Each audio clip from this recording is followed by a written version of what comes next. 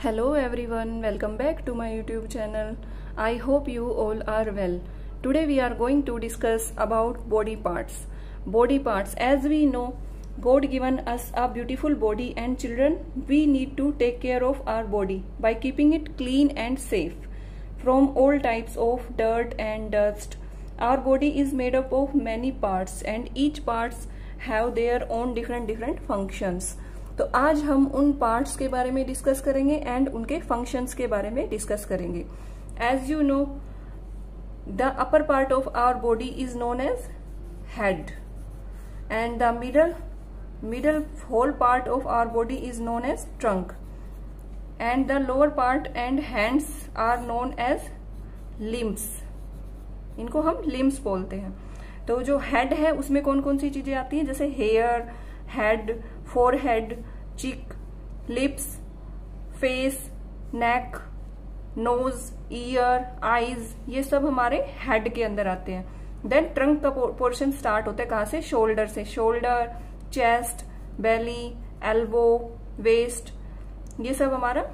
Then बात करते हैं लिम्स की। तो लिम्स में क्या होता है? हैंड एंड लेग लिम्स में आते हैं।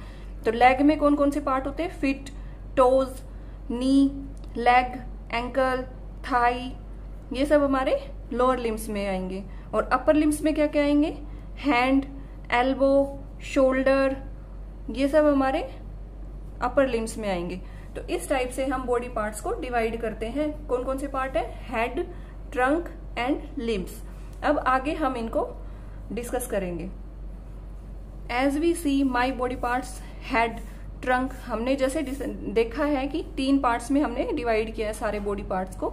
तो first of all head then trunk then limbs तो हेड में कौन कौन से पार्ट बताए थे? Ear nose eyes mouth tongue and teeth mouth में कौन से होगी? Tongue and teeth then trunk में क्या क्या आता है? Shoulder chest abdomen and back then limbs में आर्म्स एंड लेग्स आर्म्स होती है हमारा अपर लिम्स एंड लेग्स होता है हमारा लोअर लिम्स तो इनको हम लोअर लिम्स बोलते हैं। देन अब हमने बॉडी पार्ट्स के बारे में पढ़ लिया है तो अब हम इनसे रिलेटेड कुछ क्वेश्चंस करेंगे। बच्चों को बॉडी पार्ट्स के फ़ंक्शंस सिखाने के लिए सबसे अच्छा तरीका है उनको कुछ क्वेश्चंस दें, ताकि वो उनकी प्रैक्टिस करते करते उनको लर्न हो जाए कि कौन सा बॉडी पार्ट किस फ़ंक्शन के लिए यूज़ होता है। जैसे कि eyes help us to see nose help us to smell tongue help us to taste I write with my hand किससे लिखते हैं हम? हाथों से. I chew food with my teeth हम खाना किससे चबाते हैं? दांतों से. तो इस टाइप से उनको हम उनके फ़ंक्शंस के बारे में बता सकते हैं. देन हम कुछ इस टाइप से उनको रिमेम्बर करा सकते हैं कि बॉडी को हमने किन किन पार्ट्स में डिवाइड किया है. Then upper part of our body upper part को क्या बोला था हमने? Head then central part of our body is trunk upper limbs of our body is arms. Lower limbs of our body is legs. तो इस type से हम body के पार्ट्स को डिवाइड कर रहे हैं। देन उनको कुछ डूज एंड डोंट्स भी सिखाना ज़रूरी है। जैसे कि इन फिल इन द ब्लैंक में हमें शुड एंड शुडेंट फिल करना है इनके according we fill in the blank rub our eyes क्या हमें अपनी आँखों को रब करना चाहिए? नहीं। तो यहाँ पे क्या आएगा?